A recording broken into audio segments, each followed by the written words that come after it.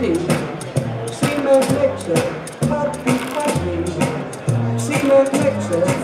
elle, euh, son chef opérateur et producteur Martin Schlacht, Bruno Wagner, hein, monsieur le ministre de la Culture autrichien Joseph Ostermeier, prix d'interprétation féminine pour La vie rêvée des anges, c'est bien sûr Natacha Régnier.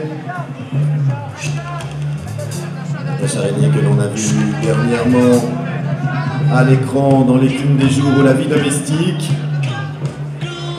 et qui était venu à Cannes euh, présenter également la raison du plus faible les boîtes.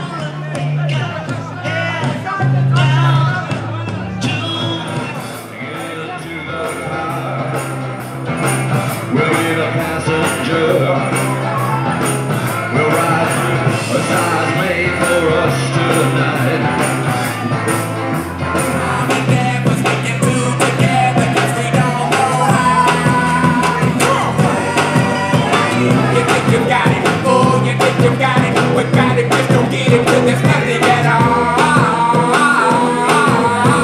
We get together, oh, we get together, what's up,